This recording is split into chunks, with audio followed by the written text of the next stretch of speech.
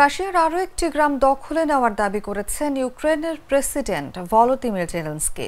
সম্প্রতি যে সীমান্ত দিয়ে রাশিয়ার মধ্যে প্রবেশ করেছে ইউক্রেনীয় সেনারা, সেখানে গিয়ে তিনি এমন তথ্য জানান। কিয়েভ জানিয়েছে, দক্ষিণ রাশিয়ার একটি বিমান ঘাঁটিতে ড্রোন হামলা চালানো হয়েছে। পাল্টা আক্রমণের অংশ হিসেবেই ইউক্রেন রাশিয়ার অভ্যন্তরে হামলা জোরদার করেছে।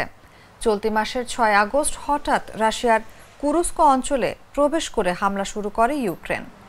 দু হাজার বাইশ সালের পর এটাকে ইউক্রেনের জন্য গুরুত্বপূর্ণ অর্জন বলে মনে করা হচ্ছে। তবে ইউক্রেনীয় সেনাদের হঠাতে পাল্টা ব্যবস্থা নিতে শুরু করেছে পুতিন প্রশাসন।